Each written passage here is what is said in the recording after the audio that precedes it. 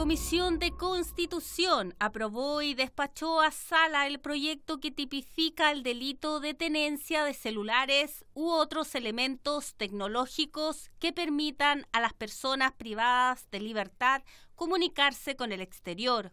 La norma busca complementar la ley 21.494, que tipificó como delito el ingreso por parte de cualquier persona de elementos prohibidos que permitan a los reos comunicarse con el exterior.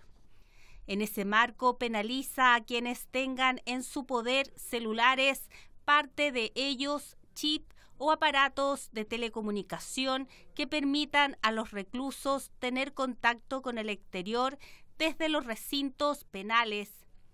Ello porque es sabido que existe un gran número de delitos como estafas telefónicas o extorsiones que se realizan desde las cárceles. La norma aprobada sanciona con la pena de presidio menor en su grado mínimo a medio entre 61 días y 3 años y un día al que, encontrándose privado de libertad en un establecimiento penitenciario, tenga en su poder celulares, parte de ellos chip o aparatos de telecomunicación.